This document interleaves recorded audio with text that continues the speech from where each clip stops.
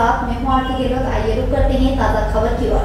अजमेर किशनगढ़ के बांदर सिंदरी थाने पर तैनात सूर्यप्रकाश गुज्जर की कार की टक्कर से मौत हो गई है। मिली जानकारी के अनुसार रात को गश्त के दौरान बांदर सिंदरी थाने के चौराहा पर सूर्य प्रकाश गुज्जर कार की टक्कर से मौत हो गई।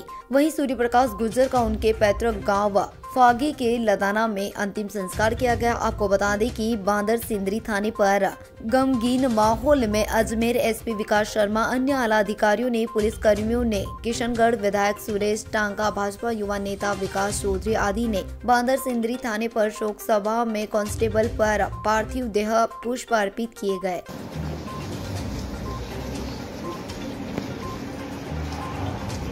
भारत माता की। भारत माता की। भारत माता की।